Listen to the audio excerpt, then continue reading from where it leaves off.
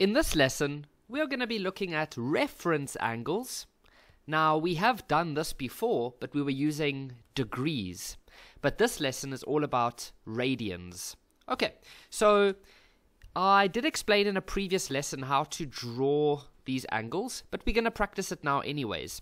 So the way I explained it in one of those previous lessons was we know that if this is a 4, then you should break this top part and this bottom part into four parts. So you break the top part into four equal parts, like that. So this would be part 1, part 2, part 3, and part 4.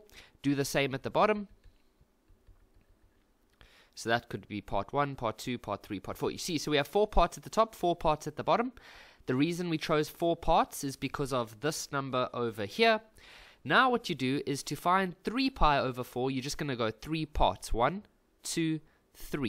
The reason I went this way and not this way is because this angle is positive. You see there's no negative in the front. If it was negative, I would have gone this way. But because it's positive, I'm going to go there Okay, and then we can just draw in our angle, or we can, sorry, draw in that line over there, and there we have it. Now, we can get rid of all these dotted lines. You don't actually have to put the dotted lines there. They're just there to help you visualize where 3 pi over 4 would go. Now, that's quadrant 2, right? Because we know that that's quadrant 1, that's quadrant 2, that's quadrant 3, and that's quadrant 4. So, the next thing we need to do, so let's just say we are in quadrant 2. The next thing we need to do is find the reference angle. So if you watched my video where I explained this using degrees, then what we did was we always highlighted this axis over here, and then this axis over here, and the reference angle is the one that is in between those two. Okay, now, you need to understand that we start here at 0. This is pi. If you go all the way around, that's pi. Okay? If you go all the way to the to the beginning again, that's 2 pi. So if you go up to if you go from here to here, then that would be a half pi. So this would be pi over 2. And then this would be 3 over 2 pi's, which is between pi and 2 pi. Okay. So and then we also know that this is 3 over 4 pi up to here because that's what we that's what we have over there, right? So think about this. If this is pi going all the way to there, and this is 3 quarters pi, then if you want to know what this angle would have to be, well then you could say pi take away 3 over 4 pi. Now this is the same as 4 over 4, right? Because it's 1. So 4 over 4 pi, or 4 pi take away 3 pi, is going to be 1 pi over 4. So this is a quarter pi or pi over 4, and that is your reference angle. Let's try another one. We've got a lot of examples.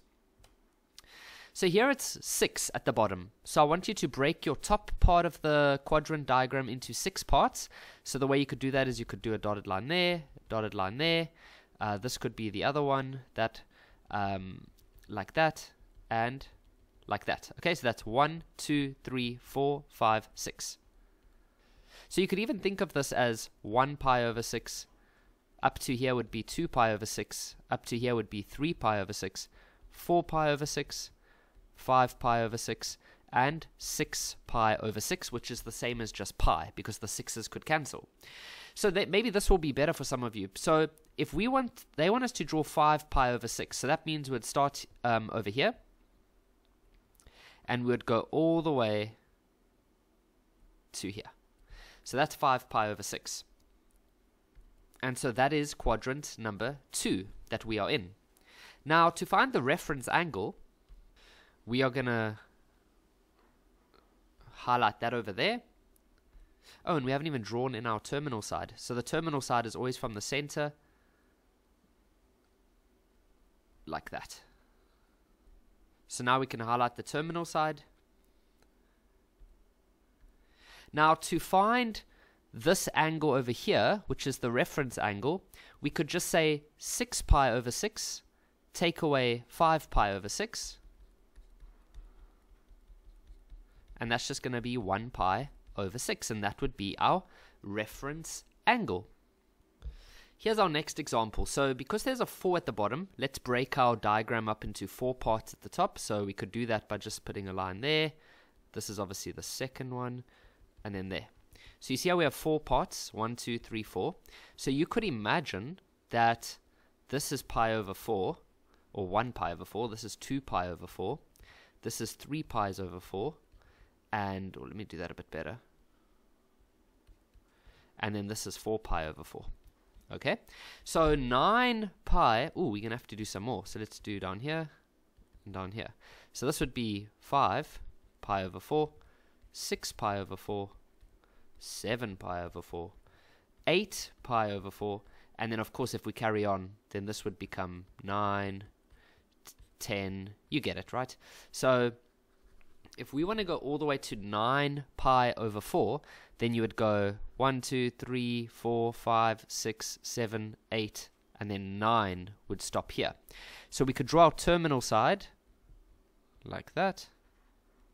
Okay, and so that's quadrant one. So that's the answer for that first one. Now your reference angle, well, that's going to be easy. That's always from the x-axis, and then there's a terminal side, and then the angle between that is your reference angle. So that's going to be pi over 4. So that will be your reference angle, pi over 4. This next example is pretty cool because it's got a negative. Okay, so we're still going to break our things up into four parts. So that would be pi over 4, or 1 pi over 4. 2 pi, let me just do that properly. 2 pi over 4. 3 pi over 4. 4 pi over 4. 5, 6, 7, and uh, this would go all the way back to 8 pi over 4, but it starts at 0. So now, if they go minus 3, they want us to go 3 parts backwards. So you're going to go 1. So you see how I went, because it's a minus, I'm going backwards. I'm not going this way. I'm rather going that way. So that's going to be 1, 2, 3. Okay? And so let's draw our terminal side like that. And so that's quadrant number 3.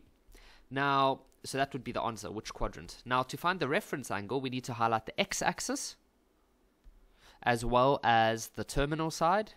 There we go. And so to find this angle, you could imagine 4 pi over 4 to 5 pi over 4. If you minus them, that's just going to be pi over 4. So that is your reference angle. The next one is you break it up into 3. Now with 3, you got to be careful um, to make three equal parts, you can't actually use this part. Uh, you'll see now what I mean. So I'm actually going to block that part out for now. And to make three equal parts, you're going to go there and then there. See, because then that's, okay, that doesn't look like equal parts, Kev. It's more like there, there. Okay, so now these are three equal parts. You see how we can't use the y-axis as one of the parts because if we do, then the spacing won't be equal. Okay, and then if we go like that and like that. Okay, so that would be pi, uh, 1 pi over 3, uh, 2 pi over 3, um, 3 pi over 3, 4 pi over 3, 5, and uh, this is 0 and this is 6 pi over 3 which is the same as 2 pi. Okay but now they want us to go negative. Okay and how many places? 5 so we're going to go 5 back. 1 2 3 4 5 so that's where we are there. Uh, I guess we could draw this line in now. Okay so from the for the terminal side there it is. And that's quadrant number 1 now to find your reference angle always highlight your x-axis and your terminal side. And then your reference angle is the angle between those two. Okay, so here you start at 0, here it's pi over 3, so your reference angle is pi over 3.